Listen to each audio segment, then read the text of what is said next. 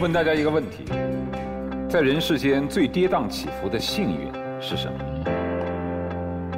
呃，还是最后还是有人陪伴。分手又和好了。被误诊之后，突然发现是误诊。你们所说的三个例子都指向一个成语，叫失而复得。失而复得是最跌宕起伏的幸运，给你内心有一种极大的快乐。接下来这些作品的作者，他就能让你失而复得。来，我们来看到一个视频。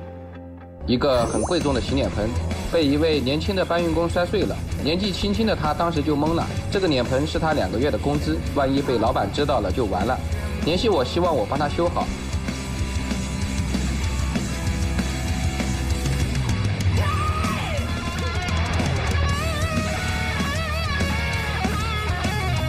修完以后，他问我需要多少钱，我没要，和他说这次我帮你修，不要钱。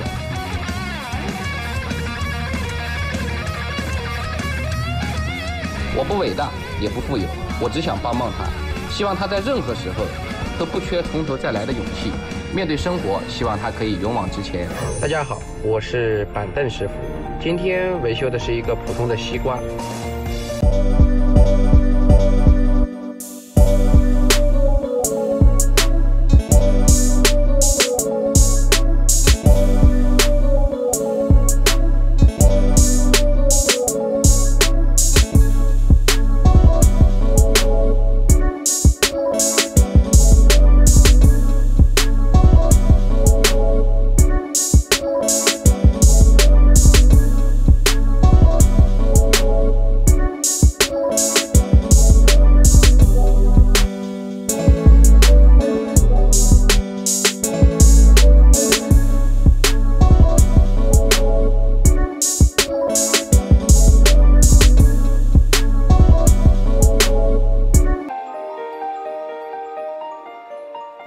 过这个视频吗？我是他粉丝，天天刷。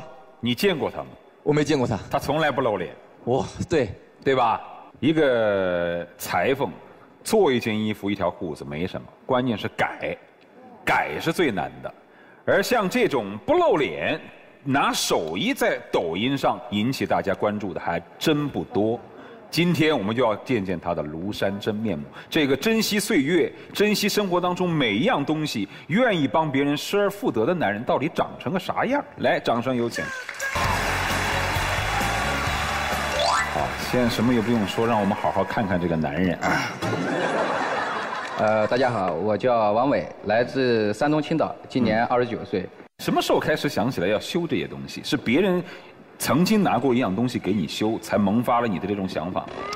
呃，其实我从事这个职业已经有八年了啊。之前是就是说我们正经的工作是从事一些家装，然后在后期的话做短视频呢，我是特意用方便面去修。其实这只是一种我自己想的一种噱头。那你修过的最饱含情感价值的东西是什么？情感一方面的话，我记得就是大概上个月吧，维修的一个是，呃，一个很普通的一个茶杯啊，水杯。然后当时是一个，也是一个就是抖音的粉丝，他给我发了一条私信，他说就是说，是他前男友以前送给他的，然后因为这个男朋友呢，就是说，就是因为一些事情就是不在了，就是这这真的是不在了那一种。我记得他当时说，我知道他不在了，我也知道他回不来了，我只是希望看见这个杯子的时候就感觉到的他，然后我整个人当时就很触动的那种，我就说。我也不敢保证给你修多好，你寄过来，我肯定帮你去修。所以，我觉得，希望他可以从那一份感情走出来。这种事儿多吗？不多，不多。你们有没有自己特别想修的东西？我我我刚才他说那个故事，我特别想修，就是我有一个那个小的瓷娃娃，是我那个爷爷送给我的生日礼物。结果那个有一天阿姨没有关窗，下雨还是怎么样，然后就就可能是风太大，就把它刮下来了，就掉在地上就摔碎了。然后然后我回来就反正挺伤心的，我就拿了一个盒子把它都装起来。然后我我不能确定我是每一片碎片都有，但是我尽我所能都留起来了。我一直想找个机会把它粘起来，我就想问师傅，你能不能帮我粘？多少钱我都愿意。呃，可以，可以。大概已经摔了有有三四年了，还能修吗？可以。也就是从某种角度上来说，你还不仅只是个手艺人，你还帮别人在维护着一定的信念。呃，这是我觉得就是说，如果说手艺做好了，有能力了啊，应该去做一些回馈社会更有意义的一些事情。好，那这样吧，既然是修的了无痕迹，那肯定要经过大家眼睛的检测。你们谁认为自己是没瞎的啊？是火眼金睛的，可以上来挑战一下。每一样东西给你十秒钟时间，你找出它是修了哪儿。来，曹岩，来，喜欢吃芒果吧？对。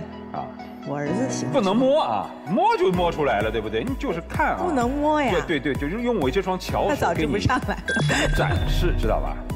啊。这里。哪里？这。确定吗？确定。是不是确定吗？我可以把它挖开吗？呃，挖开要吃的。要挖开要吃的。你要是错了，你就把它吃掉，包括那修的地方。对。你确定是这个地方吗？确定。确定。确定。可以挖吧？可以可以可以。可以破坏吧？可以可以可以。来，是这个吧？你自己挖，自己挖。不是那儿，肯定不是那儿。边上有是不是？有刀子。明显不是。好，吃掉。这种是，这种是这种是。哎呀，有人要吃五零二胶水了啊！哎，我们得为师傅点赞，这么近距离看都看不出来啊！